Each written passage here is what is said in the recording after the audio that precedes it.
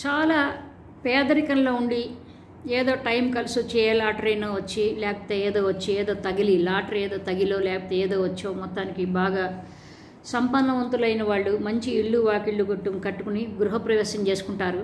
అందరినీ పిలుస్తారు రండి రండి రండి అని. అంటే ఏదో ప్రేమగా పిలుస్తున్నారని అనుకుంటారు కానీ మేము ఎంత గొప్పవాళ్ళం ఏమో చూడండి. ఎక్కడైతే అప్పులు తీసుకునేవాళ్ళు ఎక్కడ ఎక్కడ ఎవరి పంచలో అయితే భోజనాలు చేసేవాళ్ళు అట్లాంటి వాళ్ళ ఇళ్ళకి కూడా పోయి ప్రేమగా పిలుస్తారు. మీరు రండి మీరు రండి అని. లేకపోతే మేము ఏదో జాకెట్ ముక్క పెడతాము లేకపోతే మేము ఏదో గిఫ్ట్ రిటర్న్ గిఫ్ట్ ఇస్తాం అన్నట్టుగాను వాళ్ళు చెప్తారు.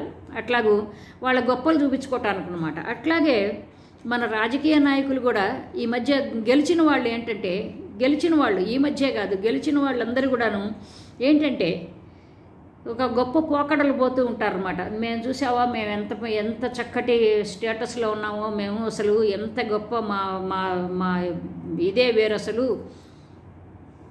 కాబట్టి చూడండి మమ్మల్ని చూడండి అసలు మేము మా మా అదృష్టాన్ని చూడండి అన్నట్టుగాను. ఇది ఎక్కడ నుంచి నాకు నేను నాకు తెలిసి రోజా నుంచి మొదలైంది. రోజా ఎమ్మెల్యేగా ఉండేది అంతకుముందు రెండు వేల పద్నాలుగులో. పంతొమ్మిది నుంచి ఇరవై నాలుగులో సరే ఏదో లేటుగానే ఇచ్చాడు జగన్మోహన్ రెడ్డి గారు ఈవిడికి ఒక మంత్రిత్వ శాఖ ఆ టూరిజం మంత్రిత్వ శాఖ ఏదో ఇచ్చాడు ఆయన. ఇచ్చి ఇవ్వకముందే ఏం చేసిందో తెలుసా ఈవిడ? చిరంజీవి ఇంటికి పోయింది తగుదునమ్మ అనుకుంటూ. చాలా అసలు మంత్రి తన దర్పము దర్పము డాప్సర్తో వెళ్ళింది. అఫ్ కోర్స్ నాకు రోజా గారు నాకు ఆవిడ చాలా నాకు క్లోజే ఆవిడ. యాక్చువల్గా చెప్పాలంటే సినిమాకి రాక రాకముందు సినిమా ఆవిడ పాలిటిక్స్లోకి రాకముందు సెలవుమణి గారితో బాగా పరిచయం. నాకు నా మూ సినిమాల ద్వారా పరి సినిమాల బ్యాక్గ్రౌండ్ ద్వారా ఉన్న పరిచయం మూలంగా సరే. అయితే ఆ- పరిచయం ప- వ్యక్తిగత పరిచయం వేరు. ఈ రాజకీయాలు ఇప్పుడు ఈ విశ్లేషణలకి సంబంధించిన వేరు. అది ఇది కలపను నేను. కాబట్టి ఇది నిఖార్సుగాను ఉన్నదున్నట్టు చెప్తాను. నా పర్సనల్ వ్యక్తిత్వంగా ఉన్న ఆవిడ పట్ల ఉన్నది ఆవిడ పట్ల నాకు గౌరవం ఉంది. నాకు చాలా ఇష్టం కూడాను ఆవిడే. కాకపోతే ఏంటంటే ఈ విషయం చెప్పాలి కాబట్టి ఆవిడ ఎగ్జాంపుల్ తెస్తున్నాను అంతే. చిరంజీవి ఇంటికి వెళ్ళింది. చిరంజీవి ఇంటికి వెళ్ళి గొప్పలకు గొప్పలు ఉన్నాయని అప్పుడే ఈ చిరంజీవి ఇంటికి వెళ్తుంది వెళ్తుందండి ఈవిడ నాకు అర్థం కాదు. చిరంజీవికి ఈవిడికి పడేది కాదు. లేకపోతే అసలు సరిగా పెద్ద గొప్ప వాళ్ళిద్దరికి గొప్ప సత్సంబంధాలు కూడా పెద్ద ఏం ఉండేవి కాదనమాట వాళ్ళిద్దరు కలిసి సినిమాలు చేసినా ఒకటి రెండు సినిమాలు చేసినా కానీ పెద్దగా ఉండి. కాక కాకపోతే ఏంటంటే నేను చూడు మీ అందరూ మీ అందరూ నన్ను ఎంతో ఎగతాళి చేసి గేలు చేశారు అందరూ చూ- చేశారు. ఏదో ఐరన్ లెగ్ అన్నారు అన్నట్టుగాను చూడు నేను ఎంత గొప్ప లెగ్గును అన్నట్టుగా వెళ్ళింది. సరే బాగుంది. అయితే తర్వాత జగన్మోహన్ రెడ్డి గారు ఓడిపోయిన తర్వాత ఆయన రా రావాలి రావాలి ఆయన రావాలి ఆయన రావాలి ఆయన అసెంబ్లీకి రావాలి ఆయన అసెంబ్లీకి రావాలి. బిల్స్ అన్నీ కూడా ఎలా పాస్ అవుతున్నాయో బిల్ సింబల్ పాస్ గౌలా. ఈ బిల్స్ జగన్మోహన్ రెడ్డి ఉంటేనే అక్కడ పాస్ అవుతాయా లేకపోతే లేదా? పదకొండు పదకొండు ఎమ్మెల్యేలు పెట్టుకుని ఆయన పోయి అంటే ఏంటంటే రావాలి రావాలంటే మేము ఎంత గొప్ప పరిస్థితిలో ఉన్నామో చూడండి ఎంత చక్కటి స్థితిలో ఉన్నామో చూడండి మీరందరూ ఎంత నీచమైన నికృష్టమైన స్థితిలో ఉన్నారో చూడండి. పాపం రఘురామరాజు కూడా చెప్పాడు జగన్ రావాలి రావాలి అసలు తప్పకుండా రావాలి. అదేంటి అసలు అసెంబ్లీలో అసెంబ్లీ గుడి లాంటిది బడి లాంటిదని? ఏదేదో ఆయనకి చేతైన మాటలన్నీ తెగ మాట్లాడతాడు కాబట్టి ఆయన కూడా చెప్పాడు చాలామంది అన్నారు సిగ్గు ఆయన అతను అతనికి మొహం జల్లటం లేదు పాడు జల్లటం లేదు. మొహం జల్లుతున్నదో ముక్కు చెల్లుతుందో కన్ను చెల్లుతుందో అది ఆయనకి తెలియాలి జగన్మోహన్ రెడ్డికి. వీళ్ళకెట్ట తెలుస్తుంది?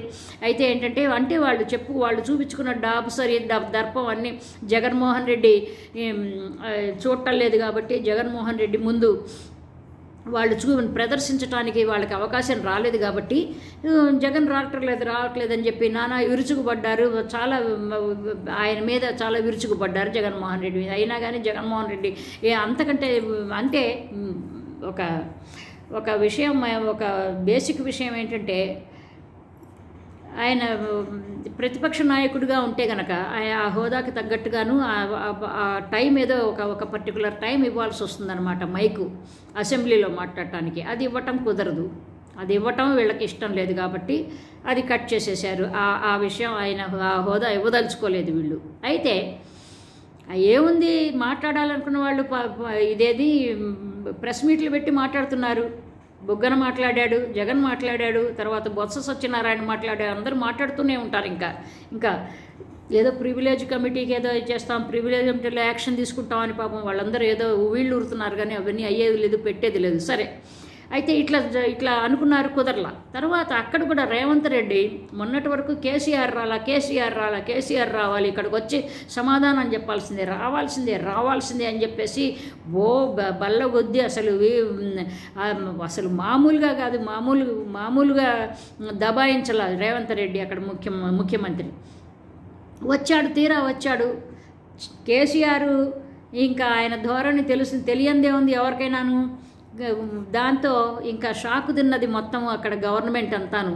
ఇంకా ఇదే పరిస్థితిలో ఉంటుంది. అంటే ఏంటంటే రావాలి రావాలంటే చూడు నేను నీ దగ్గర నీ ఆఫీసులో నేను నేను సబార్డినేట్గా చేసేవాడిని. మామూలుగా ఉన్నప్పుడు మామూలు ఎమ్మెల్యే కూడా కానప్పుడు ఎంపీగా కూడా కానప్పుడు నా మా అట్లాగూ నా చేత ఈ పనులు చేయించుకున్నావు ఆ పనులు చేయించుకున్నావు అట్లాంటివి అది నువ్వు ఇవాళ మాజీ మినిస్టర్ చీఫ్ మినిస్టర్ అయ్యావు. నీకంటే నేను గొప్పవాడిని కాబట్టి నేను మా ముఖ్యమంత్రిని అయ్యాను. నా కింద నువ్వు నా నా నాతో పాటు నా నా- నా కింద ఉన్న ఉండ ఉండాల్సిన వాడి కింద ఇక్కడ సబార్డినేట్లు ఎవరు ఉండరు అనుకో అనుకోండి ఎమ్మెల్యేలు ఎమ్మెల్యేలు సబార్డినేట్గా ఎక్కడ ఉండాలి? ఉండే సమస్య లేదు. చీఫ్ మినిస్టర్ కానీ ఏంటంటే నేను చీఫ్ మినిస్టర్ నా హోదా వేరు నీ హోదా వేరు. నీకంటే గొప్ప హోదా అని చెప్పుకోవటానికని తహతహలాడాడు. ఇప్పుడు తీ తీరా ఏమైంది? కేసీ కేసీఆర్ మొదలు పెట్టాడు ఇంకా. ఆయన దండకం ఎత్తుకుంటాడు ఇంకా మాట్లాడతాడు ఇంకా.